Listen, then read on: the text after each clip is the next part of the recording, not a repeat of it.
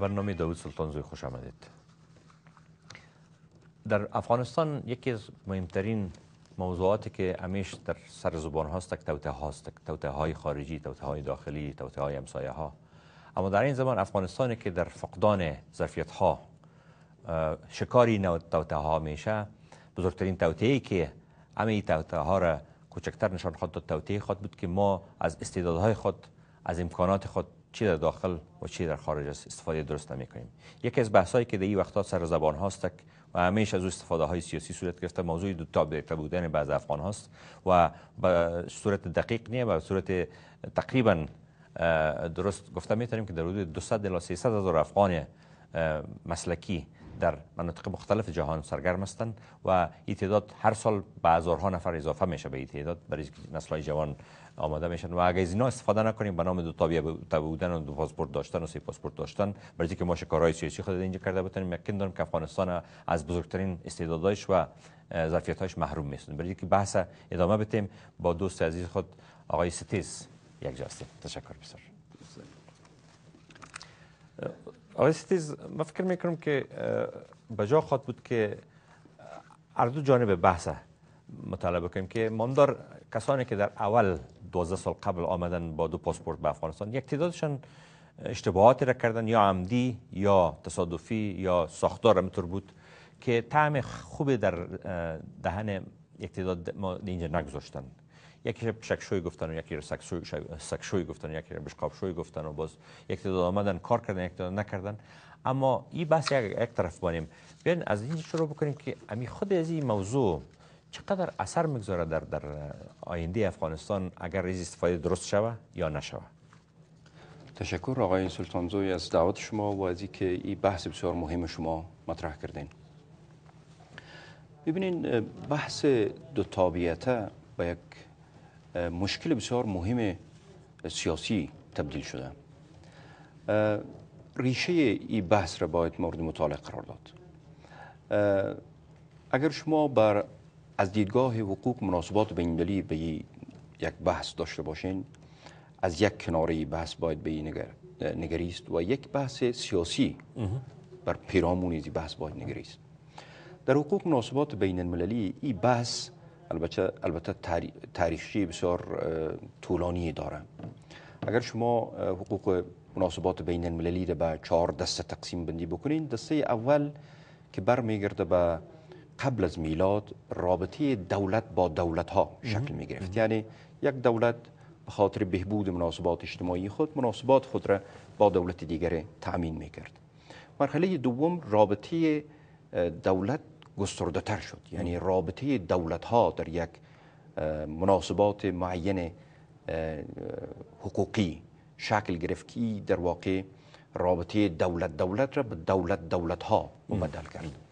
مرحله سوم ایجاد های بین المللی بود که در های بین المللی مثل لیگ ملت ها و بعدها سازمان ملل متحد و سازمان های منطقی این زمینه را فراهم ساخت که هماهنگی بیشتر میان دولت ها شکل بگیره حقوق بین المللی هم گسترده تر شد اما تحول بسیار مهمی که در قرن 19 اتفاق افتاد جایگاه شهروند در حقوق مناسبات بین المللی به یک پدیده بسیار مهم تبدیل شد. یعنی شهروند متعلق به حقوق بین الملل شد. بله بله. و حقوق بین الملل و دولت ها معذف شدند که از شهروندان جهان حمایت, حمایت گسترده انجام بدن. از تا دولت داری به دور حقوق ازیا عیار بله، میشه. بله یقینا. امی که اعلامیه جهانی حقوق بشر و کنونسیون های متمادی از اون نشأت کرد و ما شهروندان را در جهان به عنوان یکی از مؤلفه های مهم دولت های بین‌المللی می‌شناسیم.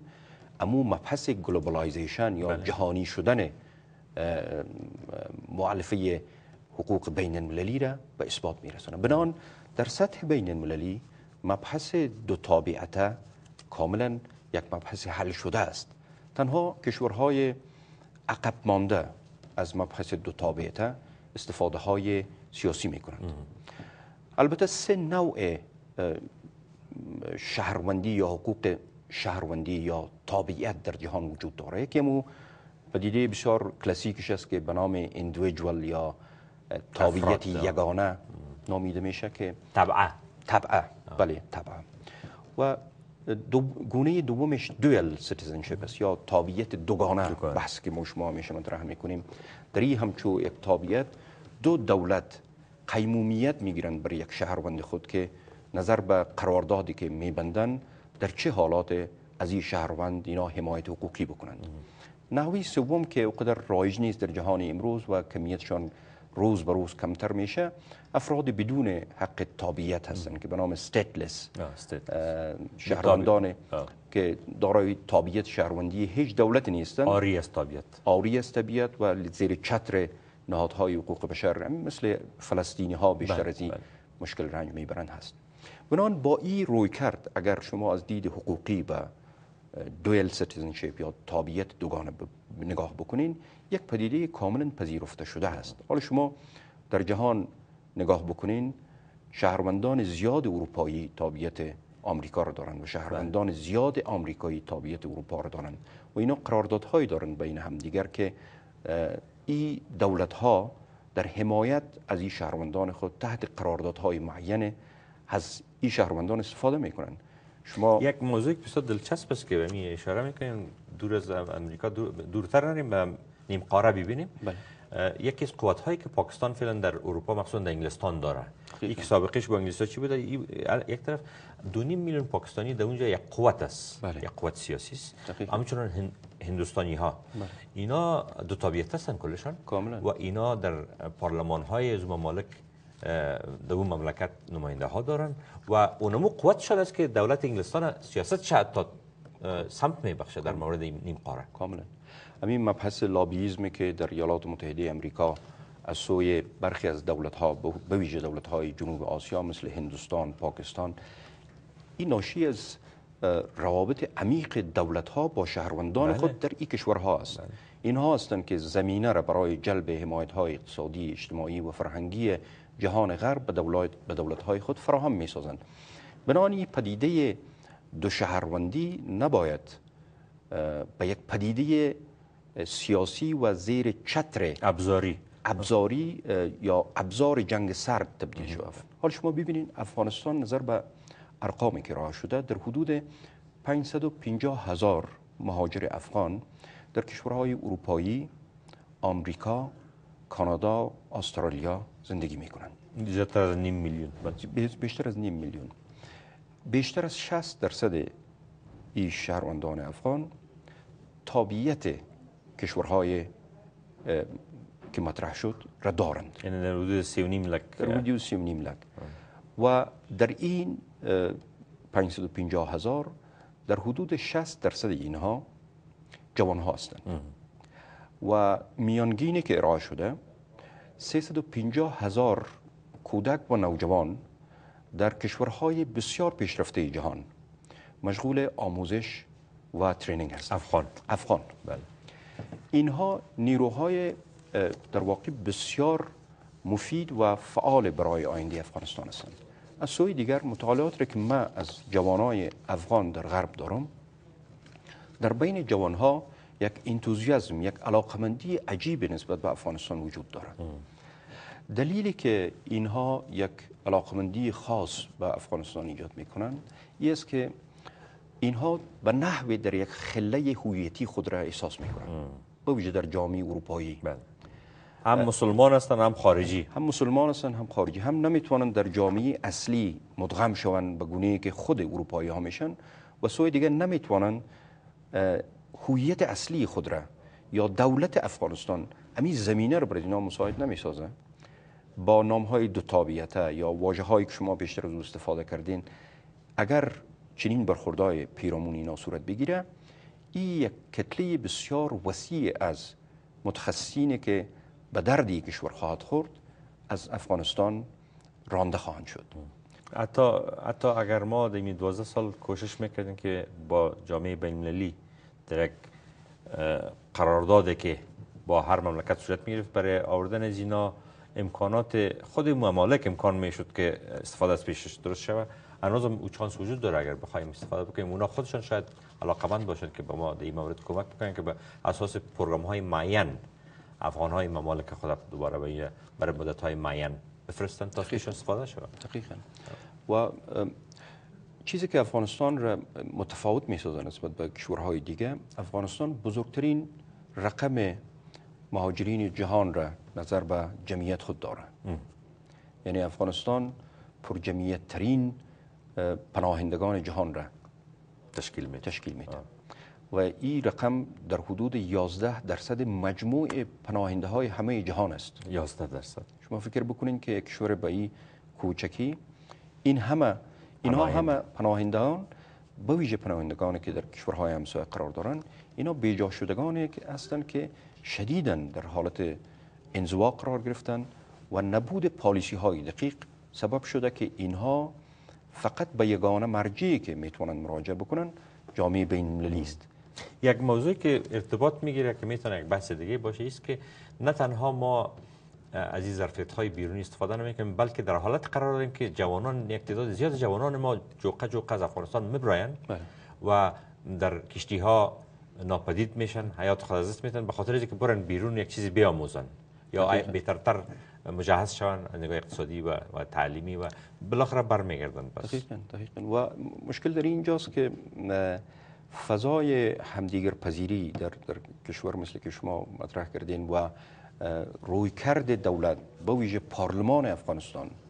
خب حالا شما اگر ما یک مطالعه جمعی بکنیم از افغانستان شما روشنفکران بسیار برجسته افغانستان را که می‌تونن نقش بسیار مهمی در ایجاد یک فضای جدید ملت سازی و دولت سازی نقش بازی بکنن همین اکنون در غرب دارین.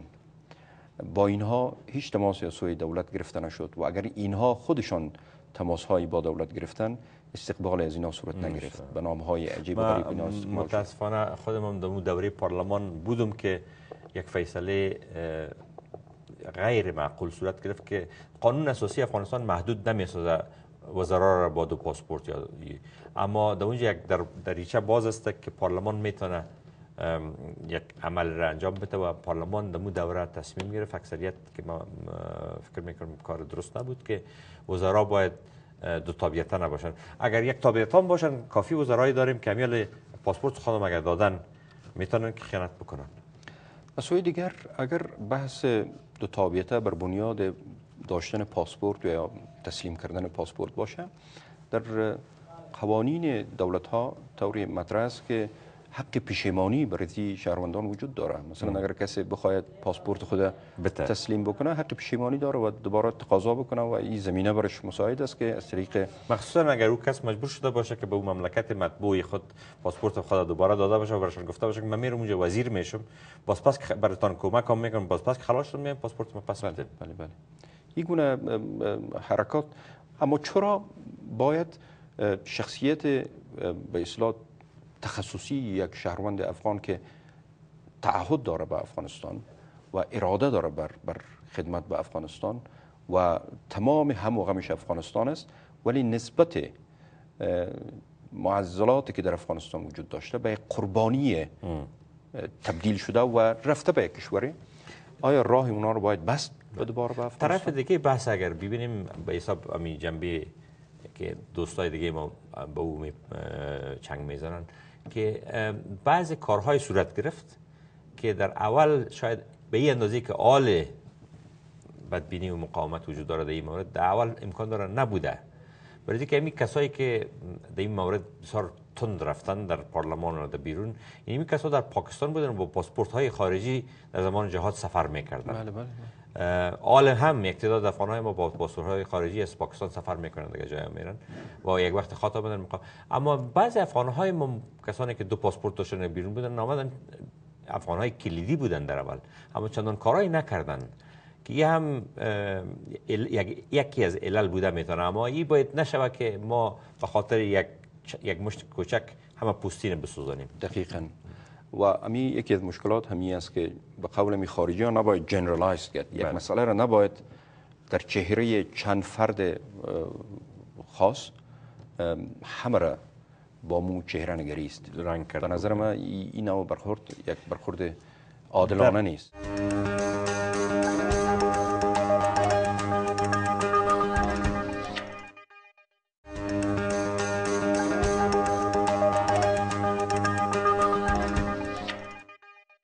در مورد از اینکه دو تابعیت بودن یا نداشتن تابعیت خب موضوع حقوقیش یک طرف. از نگاه روانی و عاطفی که ببینیم امی وقتی که سیاسی ما تو یک پیامه به یک جامعه که اونا از همه چیز بیرون ترساندیم ما و خارجی ها هم در این مورد چندان کمک نکردن که ما خارجی پذیر باشیم. این از نگاه روانی افغانستان چه قسم عیار می‌کنه در مورد پذیرفتن همه چیز بیرونی. چیزهایی که با ضرورت به او داریم.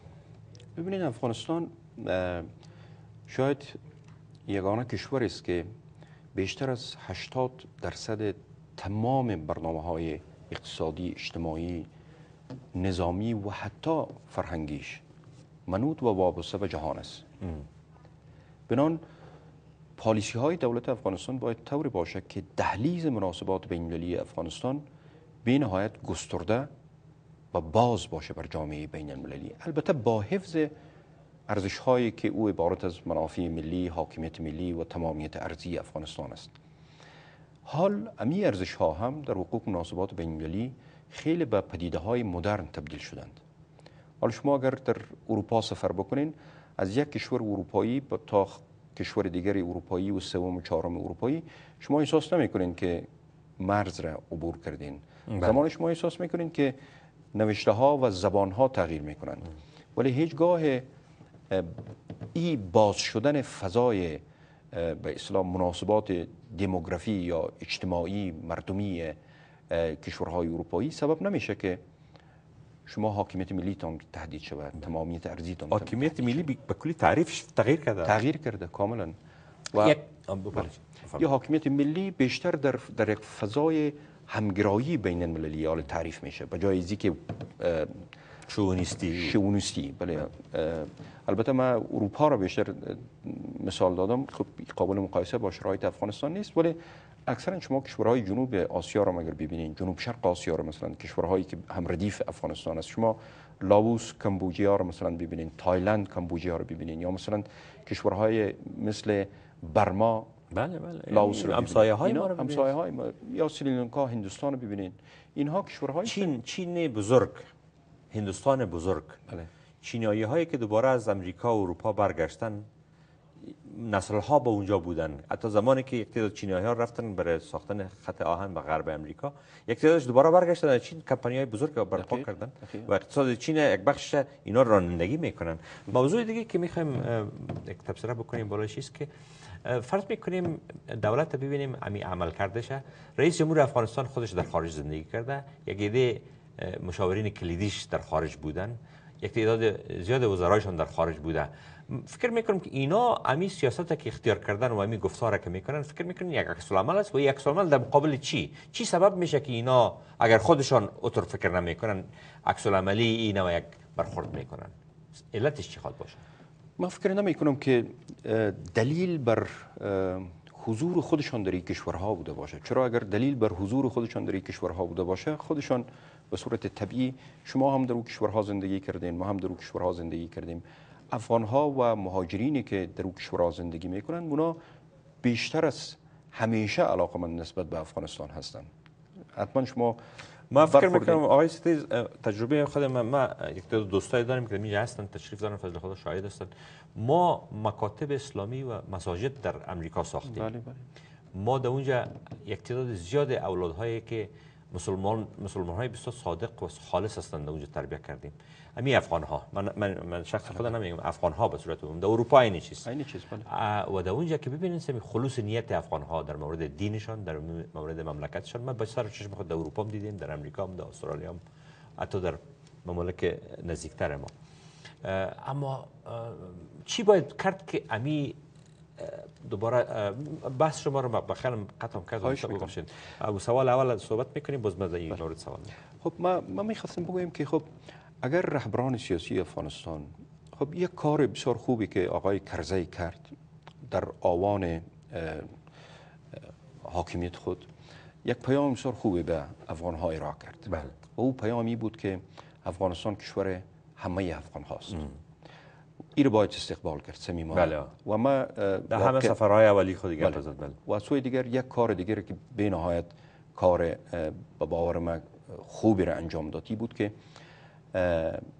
بر تمام افغان ها اعلان کرد که اگر شما می‌خواین به کشورتان برگرد برگردین دامان کشور به شما باز است.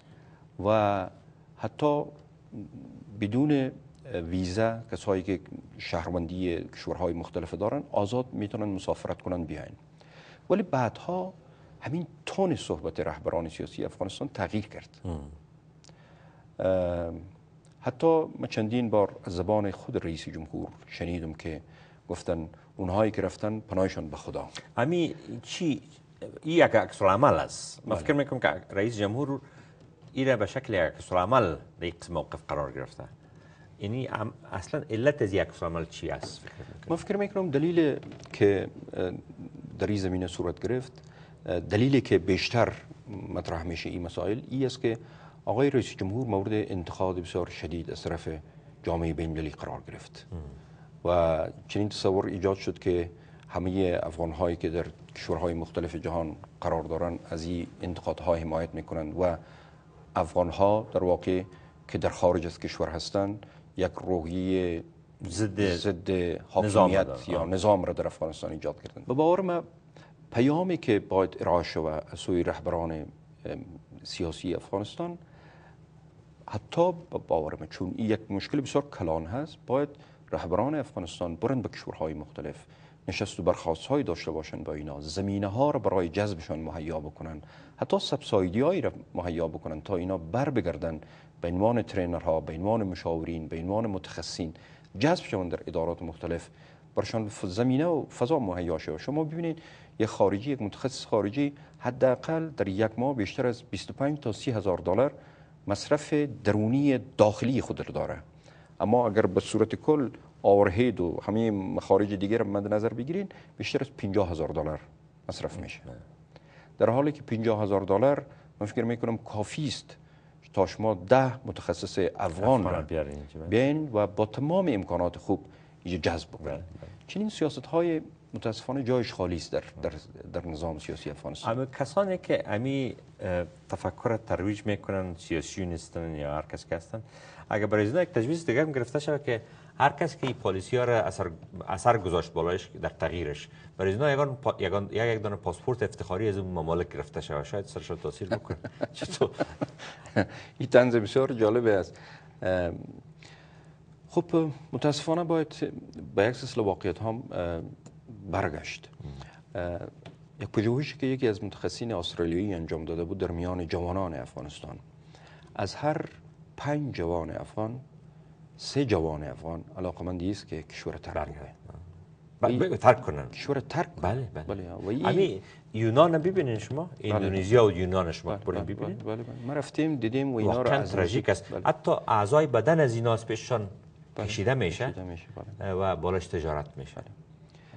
خب اینا قربانی ها هستن بله. اینا همه افغانایی را که در غرب زندگی می‌کنن این مراحل گذشتاندن و یک تعداد به شکل ساده تر یکی به شکل بغرنجتر و دشوارترش اما اینا همه قربانیان جنگ هستن بله، بله. به اینا باید به عنوان اینا- قربانیان جنگ نگریست در عین زمان آقای ستیز اینا یک عمل دینی را که مهاجرت بود در وقتی که. مهاجر می شدن بله، بله. اینا به اساس مجبوریت ها مهاجرت کردن بله، بله. حال هم درست است که دین ما شاید در خطر نباشه به زعم یک تعداد زیاد ما اما نگاه اقتصادی کسایی که می‌برن در فقر اقتصادی مجادله می‌کنن قرض می‌گیرن می‌برن برای اینکه وضع زندگی خود خوبتر بسازن این این موضوع رو ساده باید نگیرید کاملا دقیق. نظر به احصایی که راه شده کمیت شهروندان افغان که در غرب زندگی می‌کنن در آغاز دوران پس از طالبان یعنی سالهای اه، 2002 تا 2006 دو مرتبه بیشتر نسبت به حال بود. رفت و برگشتشون رفت و برگشت. چون حال اینا دلسردتر برخورد می‌کنن نسبت به افغانستان. و کسایی که علاقمند به بزنس در افغانستان بودن کم علاقه تر شدند اونهایی که علاقمند کار و برگشت در نهادهای بین‌المللی و نهادهای ملی در افغانستان بودن کم علاقه تر شدن نسبت به افغانستان. اینها همه در واقع مو پیامدهای سیاست های نادرست است.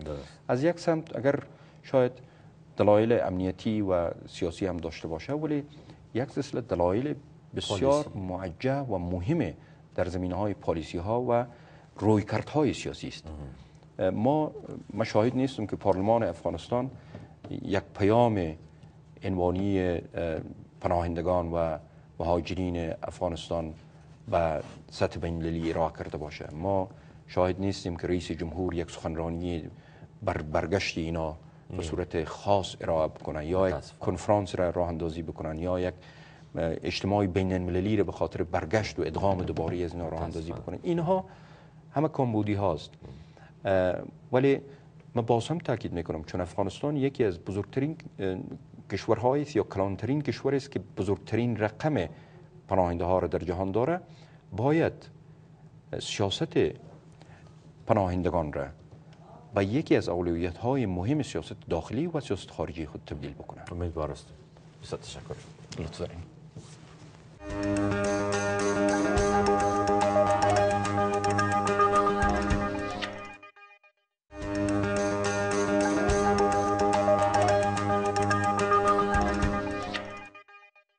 Thank you very much, Mr. Houston. and Welcome to the show. تشکر آقای هیوستون به برنامه خوش آمدید. طور که می‌دانید استرالیا در یک طرف مشکل مهاجرین قرار دارد و افغانستان و بعض از ممالک در سمت دیگران. ما مهاجر تولید می کنیم که با استرالیا و بعض ممالک دیگر در حال حرکتند. این یک مشکل متداوم جهانی بوده و این معضله مشکل تر خواهد شد قبل از آن که سهل گردد.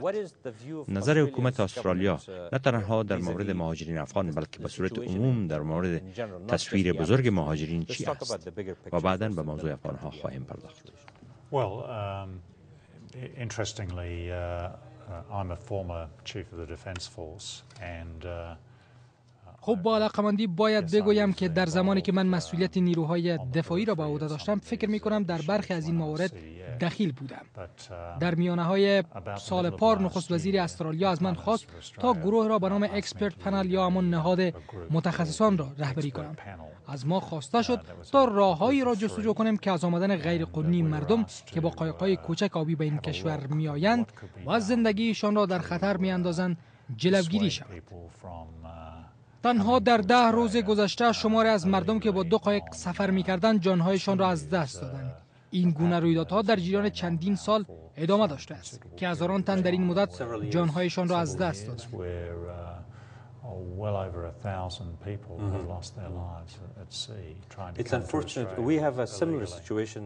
ما حالت مشابه از افغانهایی داریم که می‌خواهند به اروپا بروند و در یونان و ممالک همجواران گرفتار هستند.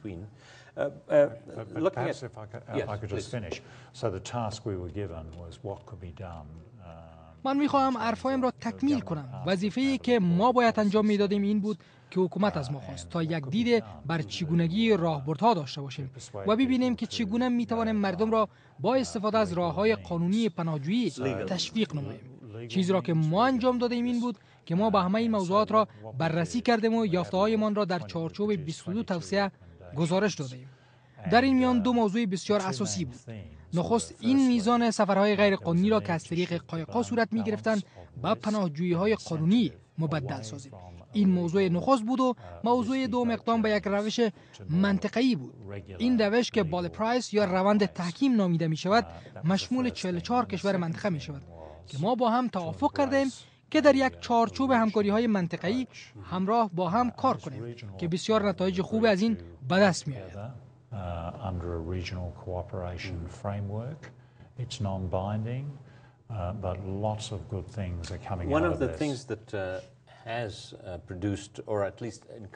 یکی از علال خود قاچاقبران انسان است که حد اقل مشوق این وزی قانونی می شود. آنها از این راه پول در می آورند بدون اینکه کسی را از خطرات این حرکت با خبر بسازند. به طور مثال اگر کسی به شکل غیر قانونی با استرالیا برسد باز هم باید برای بودن قانونی اقامه دعوا کنند و این اقامه را ثابت سازند و نه اخراج می شوند درست است؟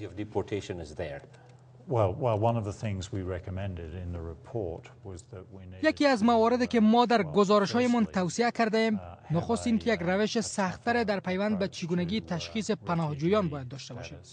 اگر ما را با کشورهای دیگر مقایسه کنند ما احتمالاً به اندازه سختگیر نیستیم که باید باشیم. پس حکومت این توصیه ما را پذیرفته است. پس شما وضع اقامت برای مهاجرین را در آینده مشکل تر می سازید؟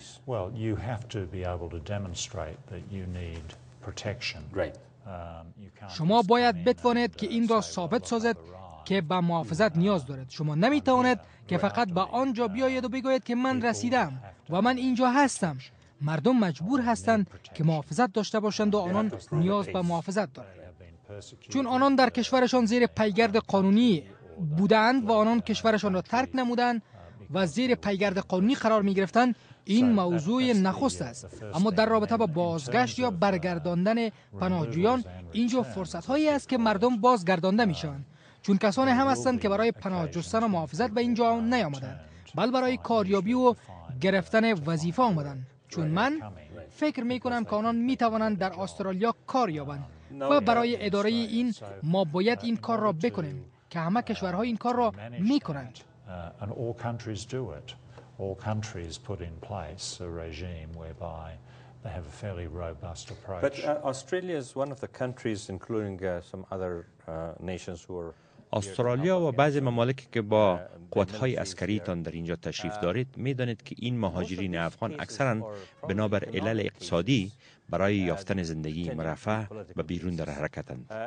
و این طور ما وانمود میگردد که علت برآمدنشان سیاسی است که نیست.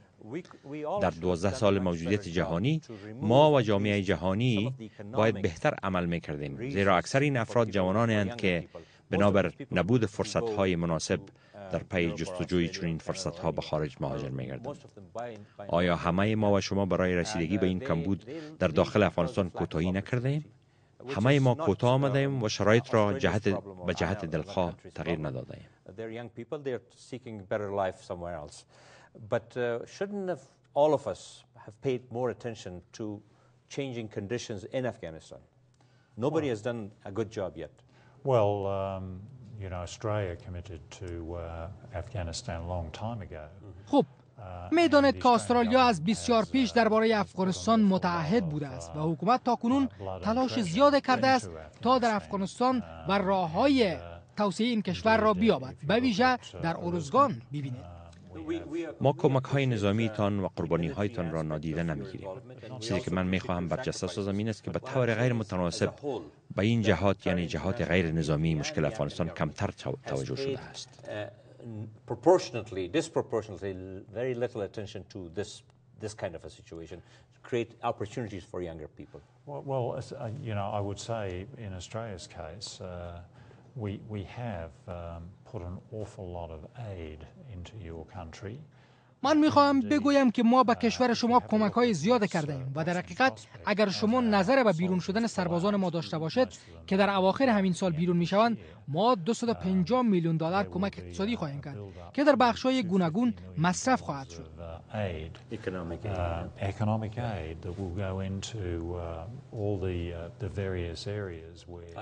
خدا کند این پول ها به جیب افراد سرازیر نگردد. خوب این یک روش مناسب به مصرف رسانیدن خواهد بود و ما متمرکز خواهیم شد که این پول ها در راه درست به مصرف می‌رسند.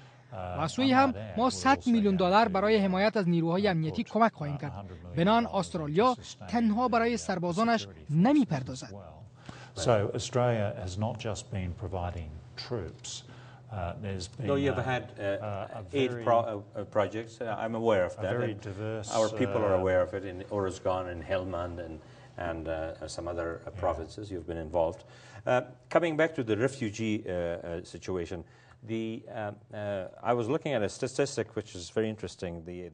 ما از کمک های اقتصادیتان در ارزگان، هلمند و جاهای دیگر با خبریم. اگر دوباره با مشکل مهاجرین برگردیم، در حدود سی هزار افغان در استرالیا زندگی می کنند و رقم مهاجرین افغان زیادترین است در استرالیا. خب من آمار دقیق را نگرفتم. Well, it's, a, it's about 2,000 or 3,000 people, which is. Yeah, last, last year, I think it was about 2,500 people. They were. بله سال پار فکر می کنم که این در حدود 2500 تن بود و در کل افغانان 25 درصد از پناهجویان را تشکیل می دادند. این شمار قابل ملاحظه است و شما می دانید که در طول این سالها شمار زیاد از مردم توانستند ثابت کنند که آنان محافظت می خواهند و آنان بخشی از جامعه ما شدند. در سالهای اخیر به چه تعداد افغانان پذیرفته شدند و با چه تعداد رد گردیدند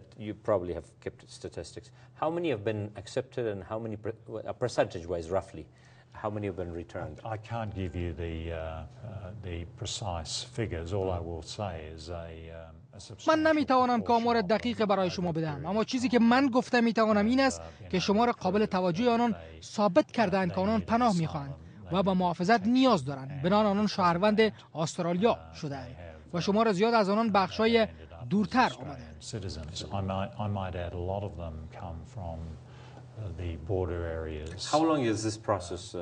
پروسه حل دوسیه های افغانان غیرقانونی چه مدتی را در بر می‌گیرد؟ And up to the time that their case is accepted? How long roughly? Well, what, what, what came with the, uh, the panel that I... Uh, بر بنیاد همان نهادی که من رهبریش را می کردم اصل را پیشنهاد می کردیم که بر بنیاد آن کسانی که به گونه غیر قانونی به استرالیا می آیند امتیازات برابر با امتیازات کسانی که به گونه قانونی به این کشور می آمدند به دست نخواهند آورد و ما این شرایط را برای این وضع کرده ایم که تعداد زیادی از مردم جانهایشان را از دست می‌دانند و واضحا که این بسیار مهم است. حکومت های افغانستان و استرالیا توافقات در مورد برگشت مهاجرین غیرقانونی عقد نمودهاند. این درست است. آن چی است؟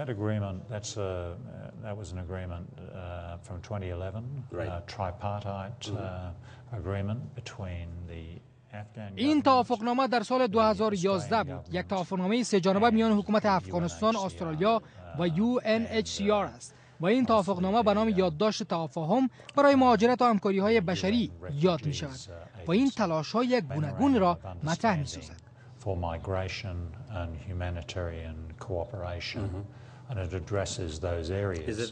آیا تطبیق می گردد؟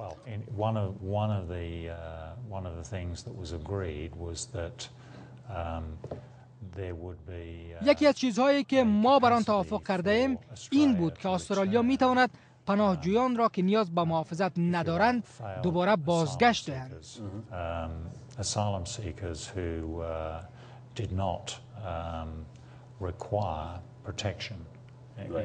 Do you, uh, what is your view as an Australian official? Uh, do you think Afghan asylum seekers نظر شما من حیث فرد رسمی دولت استرالیا در مورد افغانانی که پناهندگی سیاسی می طلبند چی است؟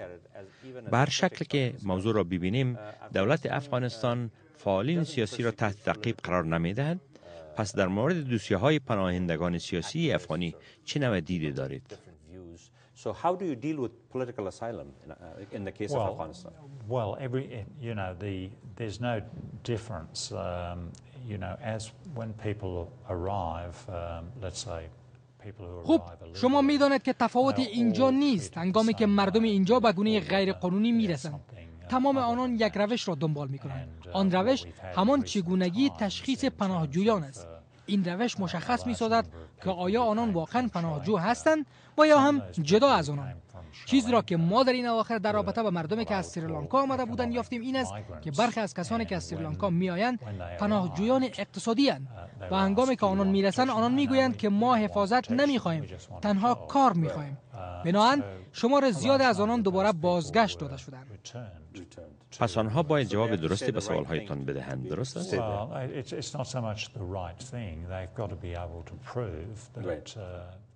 نه خیر این موضوع نیست. آنان باید ثابت کنند که پناهجویان هستند که محافظت می‌خواهند تا بتوانند که احتمالا در استرالیا پناهجو شوند. با در نظر داشت این که استرالیا یکی از کشورهایی است که پناهجویان را میپذیرد.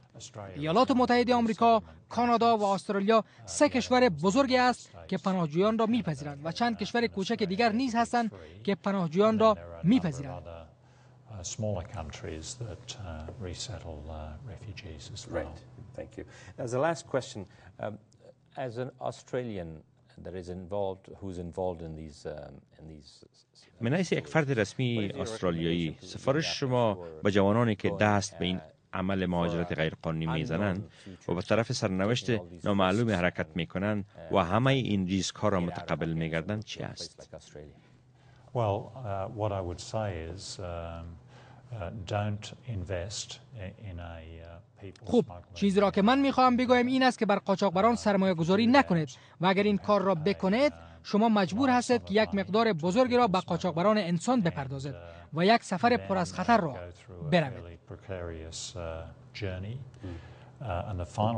ریسک حیات و شما زندگیتان را به خطر می اندازد که با استرالیا بروید و چیزی را که من می‌خوام بگویم این است که مردم باید در جستجوی راه های دیگر قانونی باشند. اگر کسی می‌خواهد که به کشور چون استرالیا پناهجو شود باید به نهادهای چون UNHCR که با امور پناهجویان سر و کار دارند مراجعه کند آنجا کیس یا امان قضیه بسازد و بعد ما دوازده هزار پناهجو را از تمام جهان سالانه میپذیریم و ما شمار زیاد پناهجویان را از این بخش جهان میپذیریم.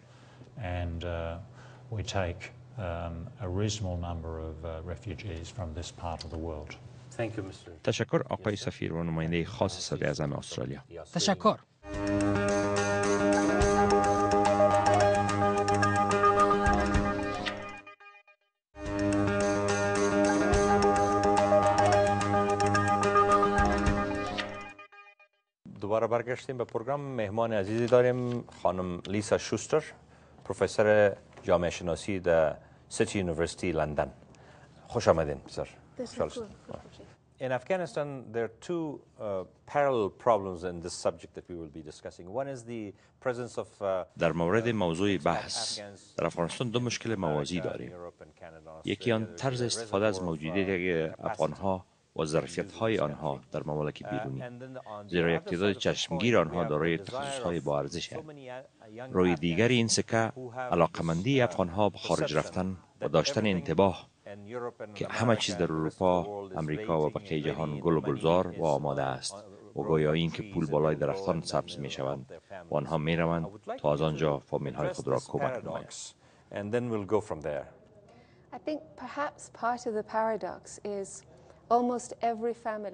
به نظر من شاید تقریبا از هر خانواده در افغانستان یک تن آنها در خارج از کشور زندگی می کنند. و معمولا یکی از آنها خیلی موفق هم هستند که دوباره از خارج کشور به خانوادهشان پول می فرستند. اما با این وجود افراد هم هستند که در خارج از کشور با بسیار دشواری ها زندگی می کنند و خانواده آنها نمی داند که چرا برایشان پول نمی فرستد و حتی چیزی نمی دانند که پسرشان، برادرشان و یا دیگر اعضای خانوادهشان در خارج از کشور با چی مشکلات روبرو هستند و این یک مشکل واقعا جدی است. چیزی را که من خیلی می‌خواهم در افغانستان رخ بدهد این است که مردم بیشتر واقع بینانه باشند و درک کنند که برادر و یا پسرهایشان در بیرون از افغانستان با چی مشکلات روبرو می شوند.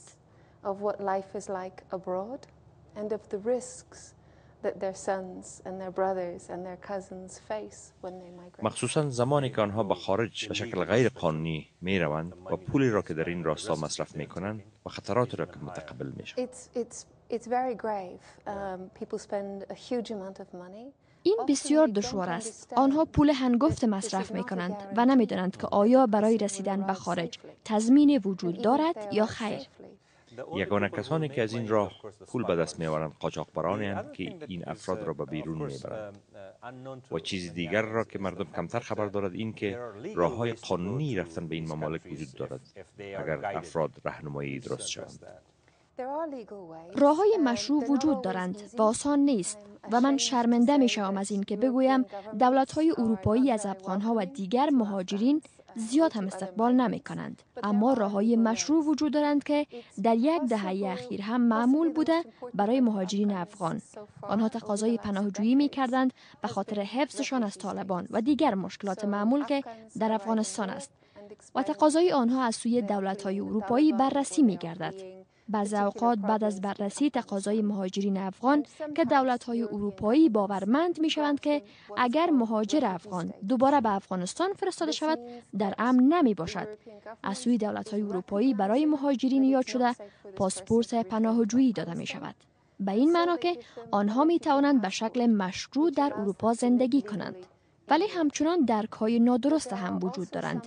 در افغانستان از این که پناهجویی به چی معناست؟ و افغان ها می روند به اروپا و می گویند که پناهجو هستند. قاضی و یا کسی که بررسی می کند از آنها می پرسد چرا شما اینجا آمده اید و چرا پناهجو شده اید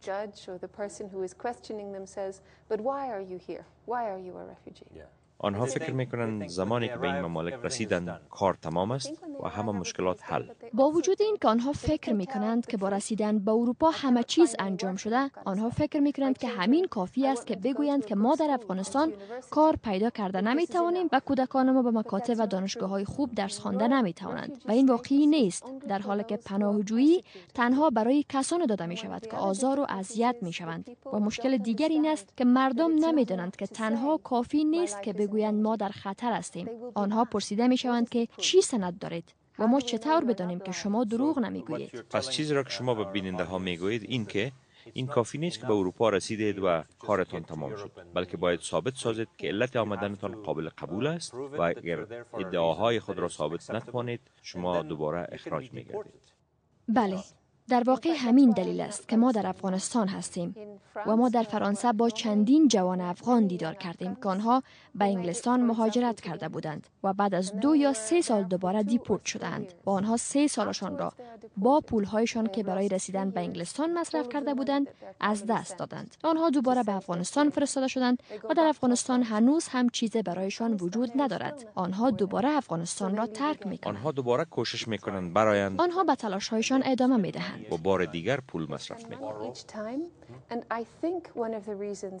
آنها هر بار پول مصرف می کنند و من فکر می کنم یکی از عوامل این است که آنها برای رفتن پول قرضه می گیرند و هنگامی که دوباره به افغانستان فرستاده می شوند برای پرداخت پول مجبور می شوند.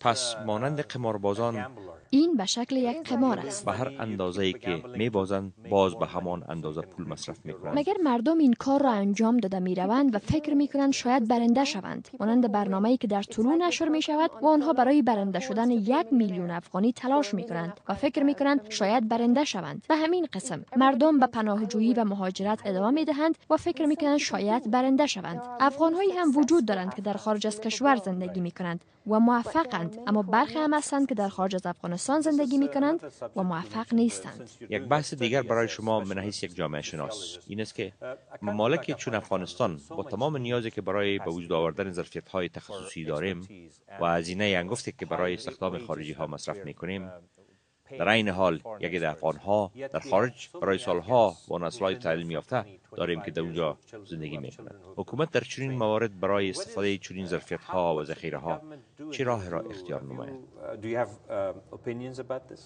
I think that you're right that the Afghans who live abroad, the Afghan diaspora in Canada, in the US, in Australia and in Europe من فکر می کنم شما درست می گویید. افغان هایی هستند که در امریکا، استرالیا، کانادا و اروپا زندگی می کنند. جوانان و کهنسالان افغان در خارج از این کشور زندگی می کنند و آنها با استعداد، پر از انرژی، پویا و دارای مفکوره های خوب هستند و فکر می کنم اگر از آنها استفاده شود خوب است. این بسیار عالی خواهد بود که اگر دولت افغانستان برای آنها تسهیلات ایجاد کند تا مردم دوباره به افغانستان برگردند، دانششان را نشان دهند، تجربهشان را نشان دهند و ما آنها را تشویق کنیم و یگانه موضوع برای گفتن این است که با ما بپیوندید، ما را کمک کنید.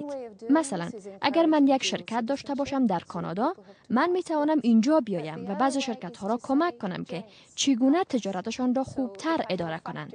و یا هم اگر من استاد باشم در یکی از مکاتب در استرالیا من می توانم اینجا بیایم چون زمان رخصتی مکاتب در استرالیا و افغانستان فرق می کند و من می توانم برای یک ماه اینجا بیایم. اگر دولت بتواند برای مردم ذهنیت بدهد مردم حتمی به افغانستان می آیند و می گویند که چگونه در آنجاها آموزش دیدند و چگونه در اینجا داشته هایشان را شریک سازند. به گونه مثال شرکت ها در استرالیا چگونه فعالیت می کنند و اگر ما چنین یک همکاری را ایجاد کرده بتوانیم بسیار مثبت خواهد بود. That's a really positive way of doing it. This is uh, probably much better than creating a stigma and sticking it to the Afghan این رویه به مراتب بهتر است از آن که یک لکه یا تاپه در پیشانی افغان ها بمالیم مثل که رئیس جمهور ما از این موضوع استفاده می کند و به نام دو پاسپورته و این و آن مردم و افراد را تاپه می زنند دو سوال در عین حال باید جواب پیدا کنند یک حکومت باید پالیسی های را روی دست گیرد تا جهت استفاده از افغان های بیرون مرزی ایشان را تشویق به آمدن نماید تا افغانستان از آنها بهرمند گردد. دو افغان های متخصص خارج از افغانستان نهادهای کاراتر را ایجاد نمایند تا روابط فعالتر و مثمرتر را با وطن اصلیشان برقرار سازند overseas in other countries so they can uh, create a liaison between the two. There are already associations. Mm. There's, there's associations in Paris, there are associations in Hamburg, there are lots of other German cities and in London. Afghans are very good at در حال حاضر انجمنهایی وجود دارند در پاریس، هامبورگ، دیگر شهرهای جرمنی و لندن. افغانها بسیار خوب هستند در کار کردن با هم دیگر و این کار نیاز به تشویق دارد. و بسیار خوب است اگر همکاری میان سازمانهای داخل و بیرون کشور ایجاد گردد. و باید بگویم که برخی از سازمان های بیرون از کشور در کمک کردن افغان های خارج از کشور که مشکلات جدی دارند تمرکز می کنند. افغان های مقیم خارج از کشور مشکلات زیاد دارند. یکی از این مشکلات ندانستن معنی کار و بیروکراسی می باشد. شما را از افغان ها فکر می کنند که ما به اروپا رسیدیم. مشکل ما حل شده. و ما وظیفه پیدا می کنیم در حالی که موضوع چنین نیست. زمانی که شما آمدید به خصوص بدون ویزا. باید اسناد به دست بیاورید. اگر نه بسیار مشکل خواهد بود تا کار به دست بیاورید. شما از خانواده ها اینجا نمی‌دانند که چرا پسر و یا برادرشان کار نمی کند در حالی که آنها حق کار را ندارند. و اگر شما بدون اسناد کار کنید شما پول کمتر به دست می آورید و این یک چالش عمده است. و سازمان های افغانی کمک می کنند برای این تعداد افغان ها تا جای پیدا کنند برای بود و باش. این چنین نیست که به اروپا برسید و بگویید که من پناهجو هستم و دولت برای شما خانه و وظیفه بدهد. برای شما خانه و وظیفه داده خواهد شد. اگر شما در پناهگاه و در جستجوی پناهگاه باشید و باید منتظر باشید. در پاریس افغان هایی هستند که شش ماه منتظر ماندند و در جاده های پاریس می خوابند و بعدا برایشان یک تخت خواب داده می شود. آن هم در یک اتاق نه خانه شاید برایتان پول داده شود. بعد از انتظار دو سه و یا هم شش ماه. و بعضی وقت هم تا یک سال. خب اگر برای شما در پناهگاه جا داده شود و برایتان اتاق داده شود و یک مقدار کم پول شاید 300 یورو در ماه که برای ادامه زندگی مقدار خیلی کم است. بسیار با مشکل با این مقدار پول می‌توان زندگی در اروپا زندگی بسیار دشوار است. برای کرایه گرفتن یک اتاق شما شاید یک هزار یورو بپردازید و بسیار اتاقها تا 700 یورو به کرایه داده می شوند و اگر چهار افغان هم به شکل مشترک یک اتاق را کرایه بگیرند باید تا 150 یا 160 یورو بپردازند. در حالی که 300 یورو در ماه دارید و باید برای ترانسپورت پول مصرف کنید و خیلی هم پرهزینه است مثل مصرف ترانسپورت در افغانستان نیست که ده افغانی برای یک بس بپردازید. زندگی خیلی قیمت است لباس غذا و غیره. یک نان در اروپا 60 افغانی قیمت دارد که معادل یک یورو می باشد. یک نان؟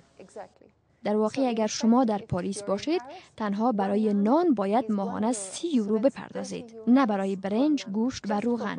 و من می‌دانم کسانی که در آنجا زندگی می کنند بیشتر چهار نفر در یک اتاق به شکل مشترک زندگی می کنند و همه چیز را مشترکاً استفاده می کنند و تنها نان و چای استفاده می کنند تا قادر به فرستادن یک مقدار کم پول به خانواده ایشان شوند.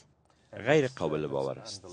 البته به نظر شما به یک جامعه شناس آیا سفارش نمی کنید که حکومت ها پالیسی های را روی دست گیرند و به طور دو جانبه و چند جانبه برای حل این مشکل راه را هموار سازند زیرا ضرورت برای کارگر همیش در ممالک وجود دارد این بسیار اثرگذار خواهد بود. اگر کارگر محفوظ باشد و اگر کارگر افغان به اروپا می رود محفوظ باشد و اگر کدام حادثه رخ می دهد با آنها باید بالایشان توجه صورت بگیرد و دوست داریم. تا آنها را در شرایط خوب ببینیم. پس شما توقع دارید تا حکومت افغانستان در چنین موارد پالیسی های کاراتری داشته باشد؟ من دوست دارم که دولت افغانستان برای حقوق افغانها در خارج از کشور مبارزه کند. به خاطر که برخی از افغانهایی هستند که به شکل ناگوار در بیرون از کشور رنج می‌برند و خانواده هایشان اینجا وقت خوش دارند و دولت افغانستان باید نمایندگی از این شهروندان کند و برای حقشان مبارزه نماید. همچنین دولت کشورهای اروپایی باید خوبتر عمل نمایند و دولت افغانستان هم چنین مبارزه کند برای حق این کارگران و شاید خانواده ها هم درک نکنند که به چی اندازه مشکلات در استرالیا، امریکا و اروپا وجود دارد. پیام اخیر و مهمی که در مورد هر دو موضوع هم افغانهای متخصص مقیم خارج و هم افغانهایی که می‌خواهند به بیرون از افغانستان به جستجوی زندگی بهتر روند و مهاجر شوند چیست؟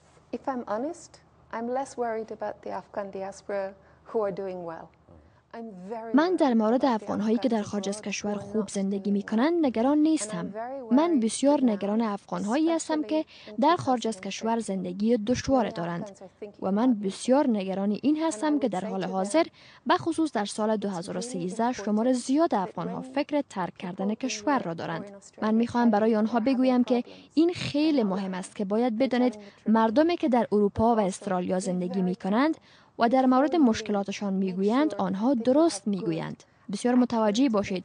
پیش از این که شما کشورتان را ترک می کنید مطمئن باشید که معلومات درست دارید. و اگر شما ماهر نیستید در حرف زدن به زبان انگلیسی، فرانسوی و یا آلمانی شما شاید حد اکثر 1500 دلار در ماه به دست بیاورید که حداقل 1200 آن را برای کرایه و ترانسپورت می پردازید و تنها 300 دلار برای زندگی کردن در دست می داشته باشید. و شاید نتوانید برای خانواده هایتان پول بفرستید. فقط محتاط باشید و اطلاعات درست دریافت کنید. بسیار تشکر. قبلش نیست. بینای عزیز هر دو مورد مورد افغان هایی که در خارج هستند با دو پاسپورت یا سه پاسپورت زندگی می‌کنن و متخصصین هستند تحصیل کردن و تمامشان می‌تونن ظرفیت, ظرفیت های بسیار خوبی برای افغانستان باشن و هم در مورد از که اقتدار افغان های ما در جستجوی زندگی بهتر به شکلهای مختلف غیر قانونی توسط قاچاقبرا به خارج میرن و در راه مشکلات فراوان را می‌بینن. تا حیاتشون در خطر میفته در هر دو مورد موضوعات را که ما یاد کردیم موضوعات قابل حیاتی است که باید به او پرداخته شود. افغان هایی که در بیرون هستند و می‌تونن به افغانستان خدمت بکنن و و مصدر خدمت خدمات واقع شوند که خارجی ها در بدل مبالغ گذاف خدمات عرضه می‌کنن. باید روابط خود با دولت افغانستان ترتیب ایار کنند که دولت وادار شود تا از استعداد استفاده بکنن و اونا هم کارهایی بکنن که امو طعم تلخه که یک ایده محدود افغانهایی که در خارج بودن به اینجا گذاشتن از خود او هم رفع شود و واقعا به افغانستان بتونن دلسوزانه کار بکنن. و افغانهایی که می‌خوان بیرون برن از تمام مشکلاتی که در سر راه است با خبر باشن. یگانه کسانی که در رفت های غیر قانونی استفاده اعظمی می‌کنن. در این مورد قاچاق براستن که اولادهای افغان راهنمایی غلط می‌کنن و برشان های سرخ و سبز نشان می‌تونن بالاخره اونا را دچار مشکلات عدیده می‌سازن. در هر دو مورد ایجاب می‌کنه که ما دولت افغانستان مسئولیتش اینجا برجسته بسازیم و کوشش کنیم که دولت افغانستان در اینجا پیش قدم باشه تا بتونه منیس راننده اصلی بر هر دو گروپ یک راهنمای خوب باشه که ما بتونیم از هر دو مشکل جلوگیری بکنیم. تا برنامه آینده و روز آینده خدا نگهدار.